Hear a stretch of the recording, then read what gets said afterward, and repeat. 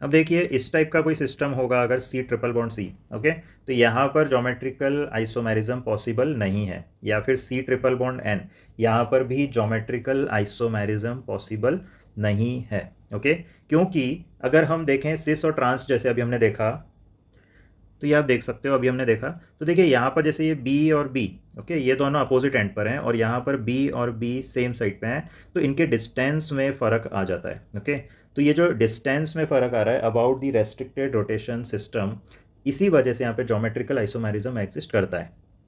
वहीं पर अगर हम यहाँ देखें तो यहाँ तो सिर्फ़ एक ही ग्रुप आएँगे हमारे। फॉर एग्जांपल यहाँ पर ए और ए तो इनके बीच का कोई फ़र्क ही नहीं आएगा।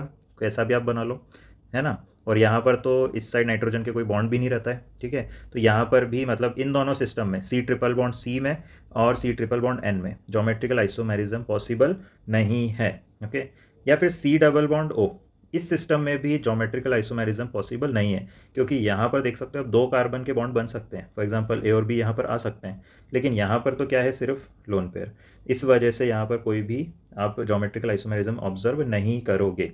ओके और एक बात आपको याद रखना पड़ेगी कि सी डबल बॉन्ड सी है अगर यहाँ पे तो ये जो सेम कार्बन पे दो आइडेंटिकल ग्रुप अगर आ गए ओके तो भी जोमेट्रिकल आइसोमर्स या फिर जोमेट्रिकल आइसोमेरिज्म इस टाइप के कंपाउंड्स में शो नहीं हो सकता है। भले ही यहाँ पर कोई डिफरेंट कंपाउंड्स हो।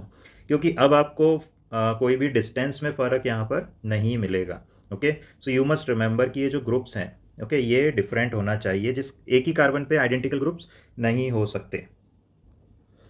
अब देखिए अगर सी डबल बॉन्ड एन हो ओके या फिर एन डबल बॉन्ड एन हो ओके तो इसके अबाउट जोमेट्रिकल आइसोमेरिज्म शो हो सकता है। कैसे? ये देखिए फॉर एग्ज़ाम्पल ये यहाँ पर अगर मैं कहूँ हाइड्रोजन है तो ये एक लोन पेयर है, ठीक है? यहाँ पर एक हाइड्रोजन ले लो, ये एक लोन पेयर है, ठीक है? वहीं पर अगर हम इसका एक जोमेट्रिकल आइसोमर बनाएँ, ठीक है? तो ये हाइड्रोजन यहाँ पे, ये हाइड्रोजन यहाँ पे, और ये लोन पेयर यहाँ पे, और ये लोन पेयर यहाँ पे। तो यहाँ पर आप देख सकते हो कि इनके डिस्टेंस डिफरेंट हो गए। ओके okay, यहाँ पर एच और एच अपोजिट साइड पे और यहाँ पर एच और एच सेम साइड पे। ओके okay, तो ये दोनों आपस में जोमेट्रिकल आइसोमर्स कहलाएँगे। वहीं पर C double C double bond N पर देखोगे तो यहाँ पर भी देखो अगर ए और बी इस टाइप से कोई ग्रुप्स हैं और नाइट्रोजन के साथ मान लो हाइड्रोजन है यहाँ पे और लोन पेयर आ गया। ओके तो लोन पेयर इसमें ए के अपोजिट है बी के सेम साइड है। और अगर ऐसा कभी हो जाए किसी स्ट्रक्चर में C double bond N okay B A और हाइड्रोजन यहाँ आ जाए और लोन पेयर यहाँ आ जाए। तो इसमें भी आप देख सकते हो जोमेट्रिकल आइसोमेरिज्म शो हो सकता है इस टाइप के कंपाउंड्स में। सो डियर स्टूडेंट्स अगर आपसे कोई पूछ ले एसिटिलीन ओके एसिटिलीन जिसको आई नेम आप इथाइन भी बोलते हो C triple bond C H और एच आपसे पूछ सकते हैं कि यहाँ पर ऑल दो रेस्ट्रिक्टेड रोटेशन सिस्टम है मतलब ट्रिपल बॉन्ड को आप uh, इस तरह से रोटेट नहीं कर सकते हो ओके okay? बट स्टिल यहाँ पर जोमेट्रिकल आइसोमेरिज्म शो नहीं होता है। ओके तो यहाँ पर आपसे अगर रीज़न पूछ ले तो करेक्ट आंसर क्या होगा? कि यहाँ पर चारों ही कार्बन चारों एटम फोर एटम दो हाइड्रोजन और दो कार्बन ये सभी एक ही लाइन में रहेंगे, कैसा भी आप सोच सकते हो। और जब सभी एक ही लाइन में रहेंगे तो इनके डिस्टेंस में कोई फ़र्क नहीं आएगा। मतलब इनका कोई ऐसा आइसोमर हम नहीं बना सकते हैं, जहाँ पर डिस्टेंस में फ़र्क आ जाए। ओके जैसे कि C double bond C H H C L C L C double bond C H H chlorine chlorine okay तो यहाँ पर आप देख सकते हो क्लोरीन क्लोरीन सेम साइड पे है यहाँ पे क्लोरीन क्लोरीन अपोजिट साइड पे तो रेस्ट्रिक्टेड रोटेशन सिस्टम है और साथ में जो ग्रुप है सॉरी एटम्स हैं यहाँ पे, है ना? तो ये एटम्स के डिस्टेंस में फ़र्क आ रहा है। दैट्स वाई ये दोनों आपस में जोमेट्रिकल आइसोमेरिज्म शो करेंगे। बट एसिटिलीन में ऐसा नहीं हो सकता है। That's why acetylene can not show geometrical isomerism तो हम क्या बोल सकते हैं? हम बोल सकते हैं कि configurational isomers okay configurational isomers है ना? Which have different spatial distance okay इनके स्पेस में मतलब थ्री डायमेंशन में स्पेशल डिफरेंस क्या डिस्टेंस uh, क्या होगा? डिफरेंट होगा ओके बिटवीन एटम्स या फिर ग्रुप ऑफ़ एटम्स ठीक है? तो यहाँ पर अगर ये कंडीशन होगी तो ऐसे configurational isomers will show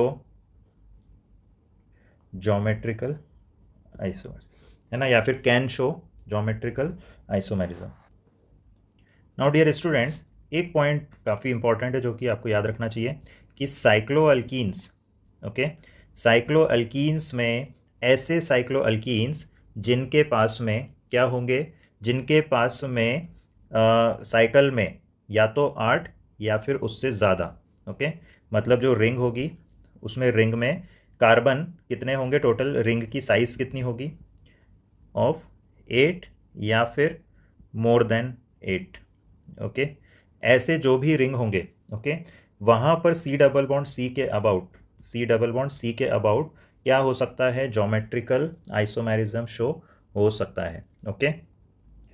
okay तो देखिए यहाँ पर अगर मैं आपको एक क्वेश्चन से समझाऊँ तो ये हो गया साइक्लोहेक्जीन और इसी तरह अगर मैं पाँच मेंबर की साइकिल बनाऊँ और ये अल्किन और फिर मैं अगर एट मेंबर्स की बनाऊँ, ओके एट मेंबर की, है ना? तो ए बी और सी इन तीनों में से कौन सा साइक्लो अल्कीन है जो कि जोमेट्रिकल आइसोमेरिज्म शो करेगा? विल एग्जिबिट जोमेट्रिकल आइसोमेरिज्म तो करेक्ट आंसर क्या होगा? दिस वन क्योंकि यहाँ पे आठ या उससे ज़्यादा कार्बन है साइक्लो अल्कीन में। अब देखिए साइक्लो अल्केन्स में ओके साइक्लो अल्केन्स जिनको हम शॉर्ट में क्या लिख सकते हैं? साइक्लेन्स ओके तो साइक्लो अल्केन या फिर साइक्लेन्स अगर हमसे इसमें पूछा जाए कि जोमेट्रिकल आइसोमेरिज्म का क्या रूल होता है तो देखिए साइक्लो अल्केन्स में कहाँ पर जोमेट्रिकल आइसोमेरिज्म ऑब्ज़र्व हो सकता है? जहाँ पर in those ones where ring में क्या होना चाहिए? रिंग में एटलीस्ट टू सब्सटीट्यूएंट्स होना चाहिए okay at different positions at different positions okay positions okay है ना? जैसे कि अगर मैं आपको ये वाला साइक्लो अल्केन दूँ ओके तो साइक्लो हेक्सेन है ये। तो सपोज़ यहाँ पे मिथाइल दे दिया और यहाँ पर भी मिथाइल दे दिया मैंने, है ना? तो दो डिफरेंट सब्सटीट्यूएंट मतलब दो डिफरेंट पोजीशन पे है, ओके? अब इसको कैसे देखोगे? दो जोमेट्रिकल आइसोमर तो देखिए। एक आपका क्या हो सकता है? सिस मतलब दोनों ही वेज पर आ जाए, है ना? ये बेसिकली क्या है? C S three C S three है। तो ये C S three C S three okay मतलब सेम साइड पर है तो इसको क्या बोल दोगे? सिस और वहीं पर अगर ऐसा हो जाए कि एक वेज पर आ जाए और एक डैश पर आ जाए, है ना? तो ये क्या हो जाएगा? ट्रांस, ठीक है? तो यहाँ पर आपको समझना होगा कि साइक्लो अल्केन्स में बस डिफरेंट पोजीशंस होना चाहिए ओके ग्रुप यहाँ पर सेम या डिफरेंट हो सकते हैं, ये आपको याद रखना है।